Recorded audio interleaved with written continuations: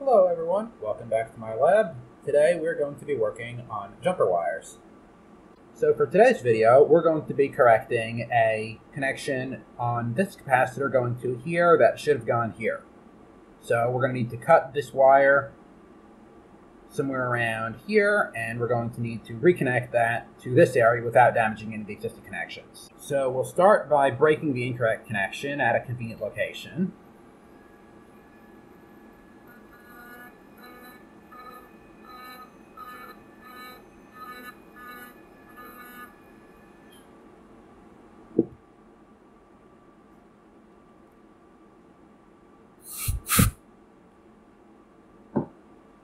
Alright, we have plenty of wire to solder to. Now we need to remove the solder mask from the area we're connecting to. We're going to do that with the scraper right around, let's say, here.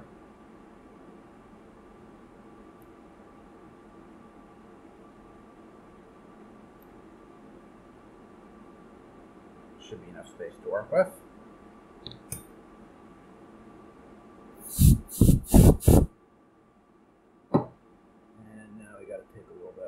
Here.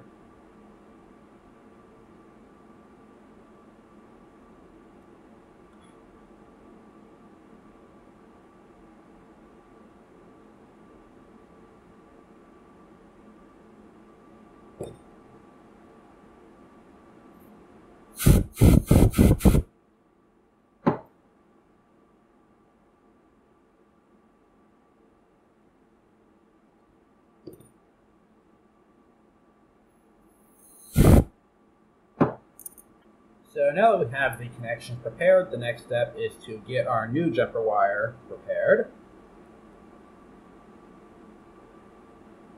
So I'm going to cut a little piece of copper foil a little bit larger than we need. That should be about right.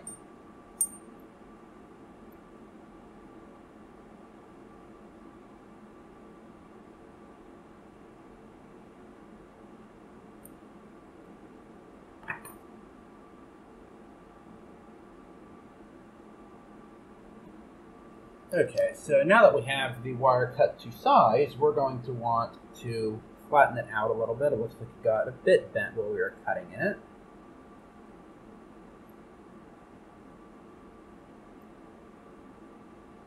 So we're just going to flatten it out.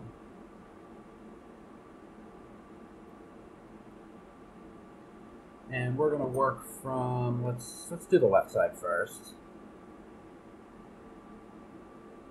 We're going to line it up about where it needs to go, and then tack it down with some Kapton tape.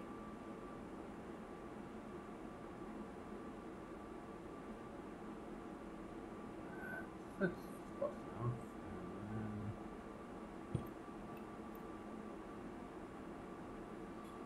we're going to bend this in to where it needs to go.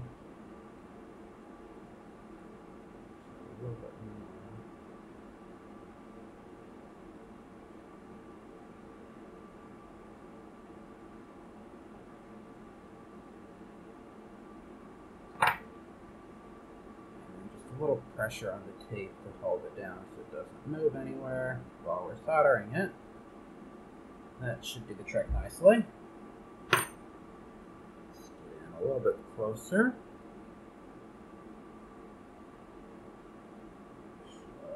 Focus. And get things ready with some flux. And we should be ready to go.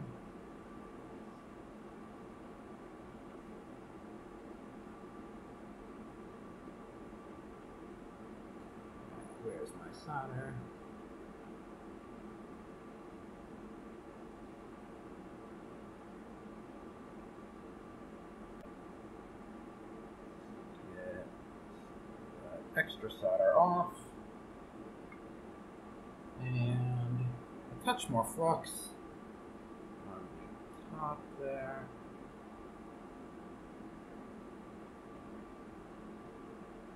And just a little bit of gentle downward pressure. And that was perfect. So now that we have the first end soldered, just gonna zoom out a little bit so you can see what's going on here. So now we can take our tape off and plan the final route.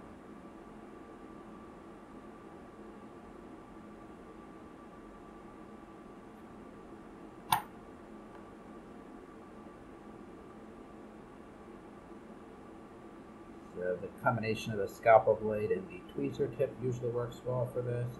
Put a little bit of a bend in there, and then cut off any extra right there.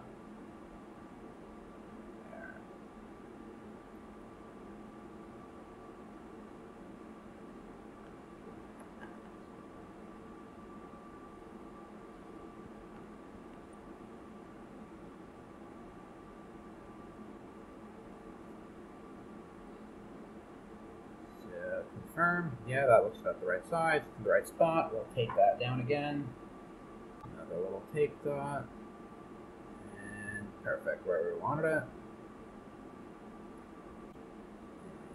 Some flux.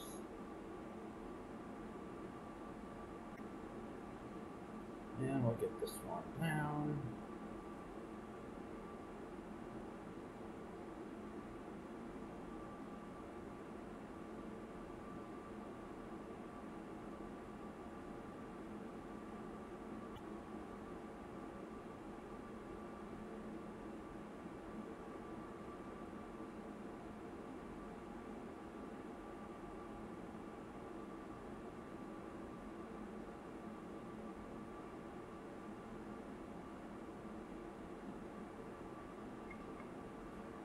Alright, looks like we need a little more flux on there.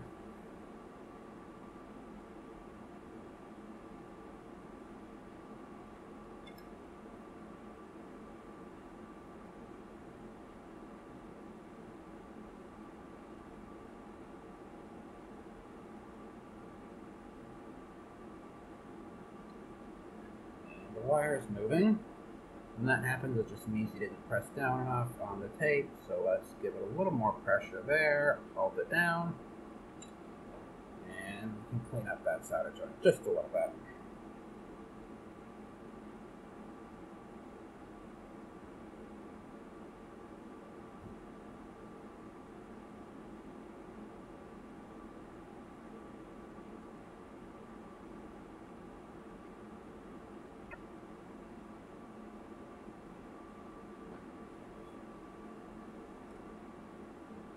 I'm actually going to back off and move the tape.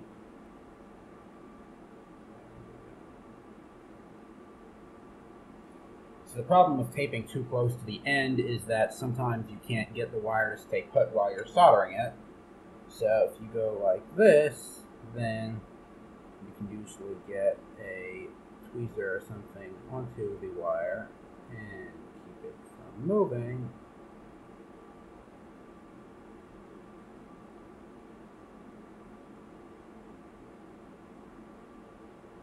And now we have a much nicer joint. Still just a touch more solder than we need, but we can spread that out a little bit. Yeah, looks pretty good. So now that we have the jumper in place, we can go clean up some of the flux before we worry about the solder mask.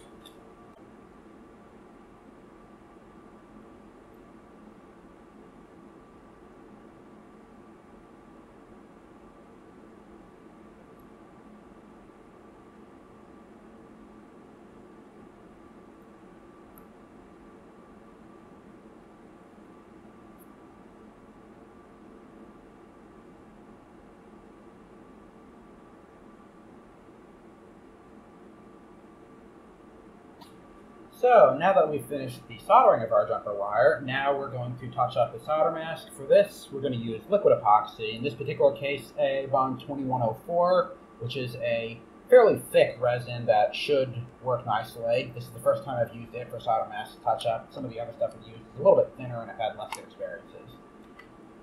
So, we just squeeze the compartments, we squeeze the packet, mix the resin and the hardener, Go back and forth a bunch of times. Make sure it's nice and thoroughly mixed. This is probably this is probably enough considering we're going to be adding color to it as well, and that'll mix it more thoroughly.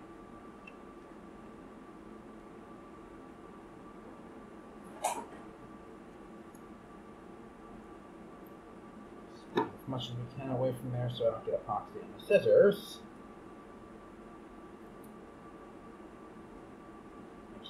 Clean.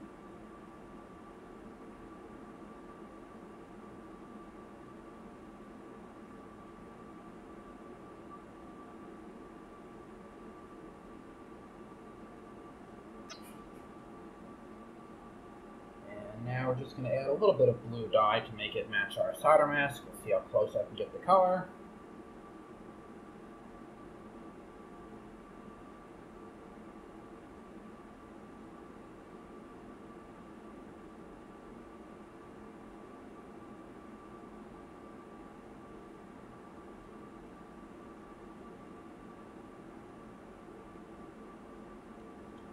Yeah, we're going to need more than that, I think.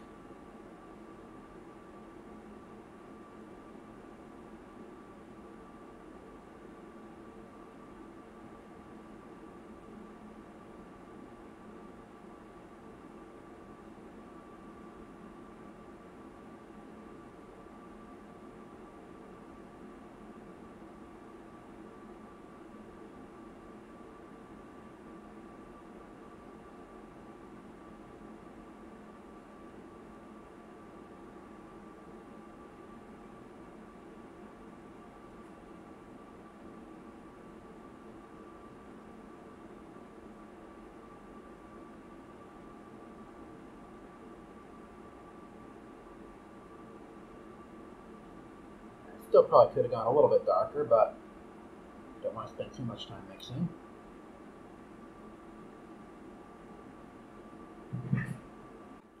And I'm just going to use a little wooden toothpick to pick up the epoxy and kind of smear it around the trace. See how well we can paint it on. It's probably... Okay, we definitely should have put more dye in.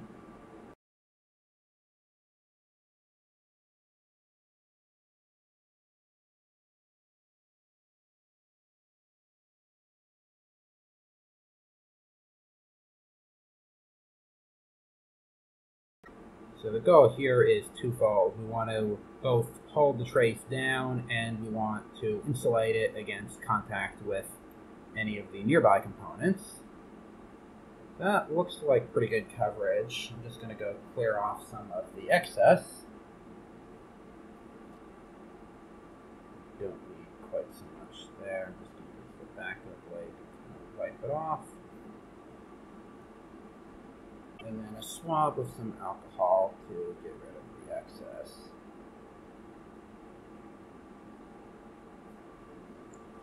So at this point, we could just wait 24 hours and have it be done, but we're going to thermal cure because I don't feel like sitting around and waiting for that long. And a little while later, the board is out of the oven. Let's see how it looks.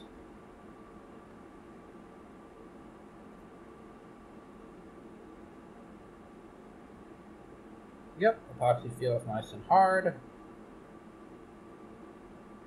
No soft spots, not sticky. So this one is done. I definitely could have done a little bit better with the painting it on. I'm still experimenting with techniques to see what works best for that. But it's entirely serviceable and uh, is both insulated and mechanically sound. So now we're going to do a Second repair using a surface wire. This is something you do if you needed a heavier gauge conductor or just to run a longer distance. Let's say we're going to go from this little diagonal wire here up to that one up there. Let's zoom out a little more so the camera can see it. So we're going to go from here up to here. And yes, you could do that with a bare wire, but it would be a lot of epoxying and uh, isn't always the most efficient option. So for this, we're going to use a 30 gauge insulated copper wire. Make sure we get the length about right. So we're going to go from there down to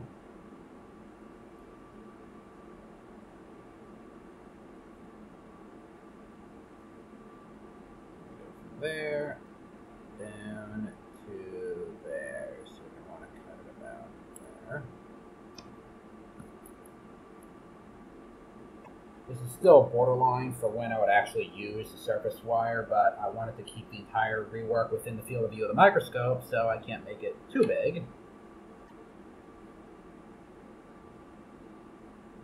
Alright, that should do the trick nicely. One more fit check. Okay, so we're going to go from up there, and then we'll worry about bending it a bit.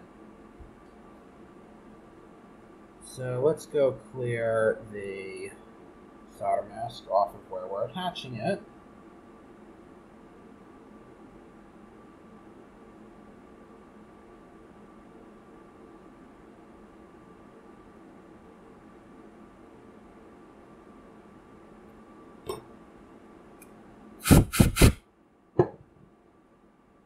And then on the other end, down here, let's say about there.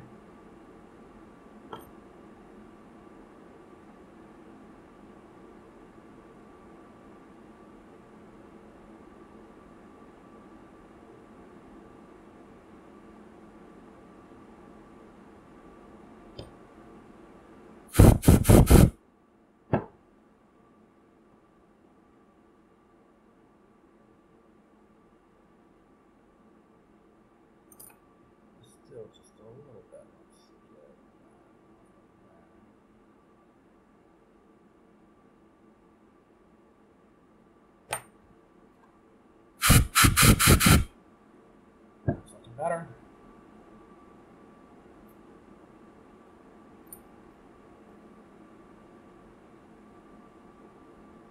So now we place our jumper in position and get some tape dots to hold it before we do anything else.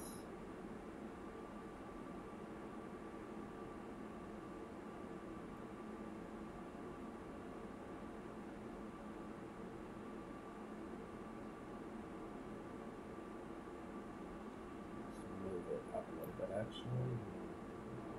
Like that.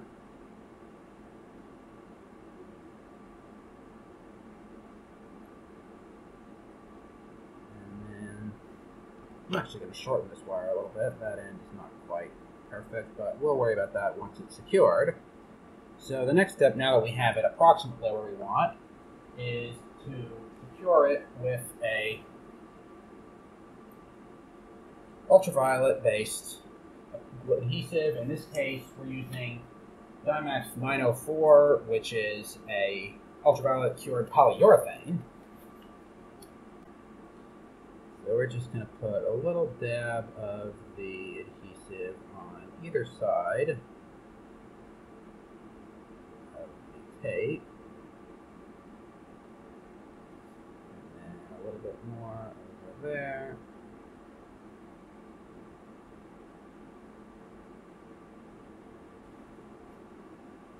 With UV glue, you do need to secure over the top of the wire. You can't just go under it because the UV can't reach under the wire. This is a dual cure adhesive. It will thermal cure as well, but oven cycles take time and UV is a lot faster, so that's what we're going to use here. You can actually use this to insulate over surface wires as well. I just wanted to show both techniques today. All right, so it looks like we've got enough glue on here. So next step is to put it in the curing chamber. Put on my shiny UV blocking safety glasses. Take the board out of the holder. Stick it in the UV box, and let's do a minute to start.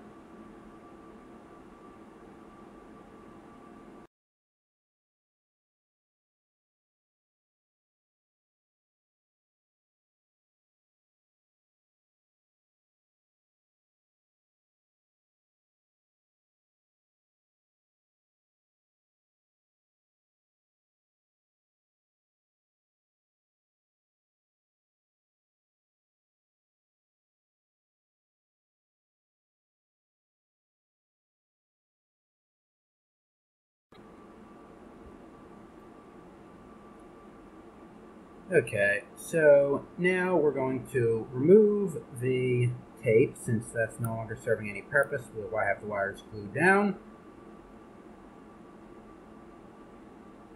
And this end is all ready to go and solder.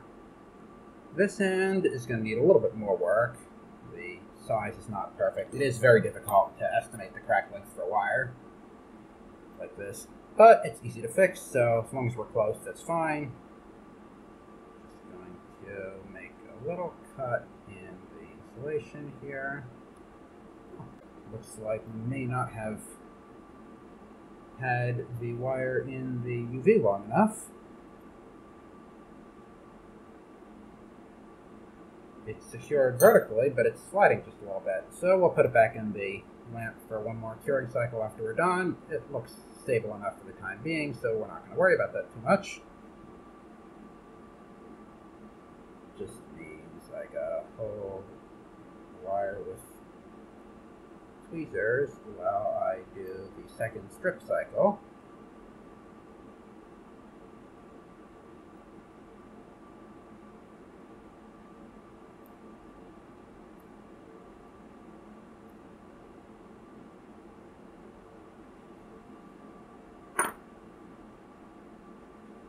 Finding the optimal cure time is a little bit of an art. They give you recommendations in the data sheets, but that depends on a lot of things like glue thickness, which is pretty difficult to control accurately when you're putting it on by hand. So I usually try and start with two minutes and then do one more cycle if I need more.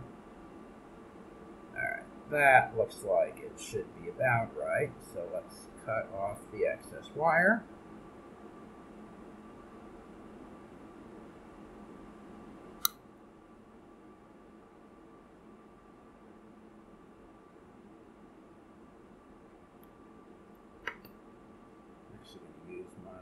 Bending tool for this. And we're going to want to pull a bit more of the solder mask back.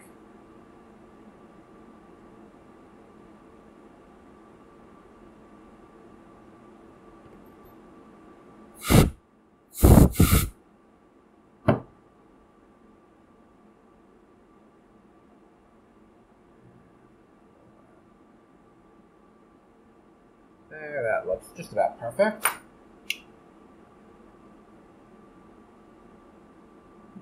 That should still be okay for this. So let's get some flux over our pending solder joint.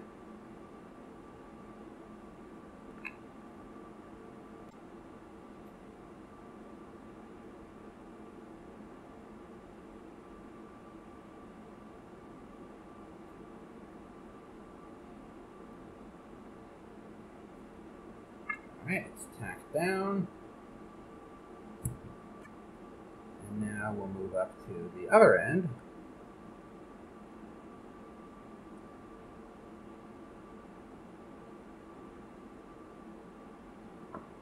That length turned out to be just about perfect, actually. We've got some overlap and some bare copper.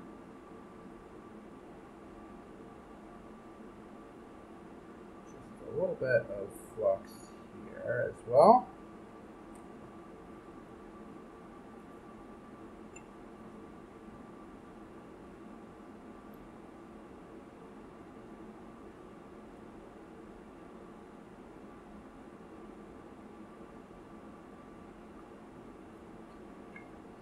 Notice the wire sprung up a little bit. Not having three hands, it's a little bit difficult to hold the wire and the solder and uh, the iron at the same time. So Usually I just have to tin the wire first and then apply pressure to make the joint a little bit later. And it looks like we need some more flux on top of the wire there. That wasn't quite perfect.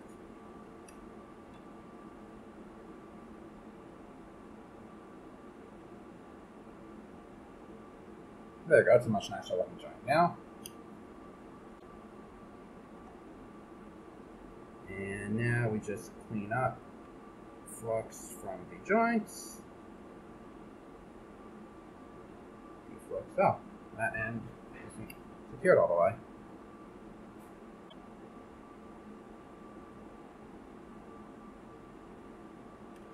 So it's fun trying to do this for the camera, trying not to hold things at angles that'll block the screen and so on. It makes things a little bit difficult.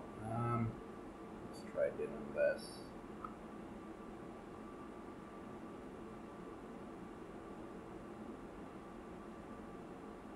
Interesting.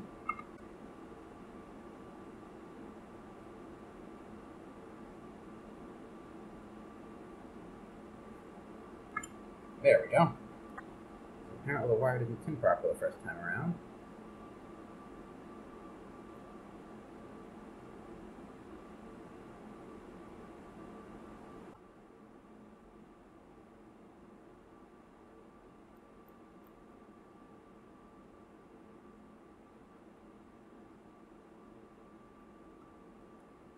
Deflux around there. So now that we're done, I'm just going to get some glue over the ends, secure it a little bit more permanently, protect those joints from damage.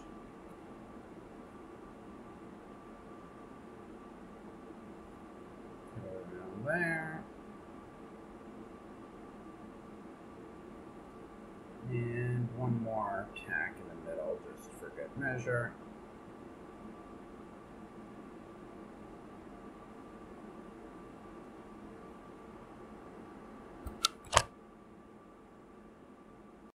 And back into the curing lamp for, let's do three minutes this time.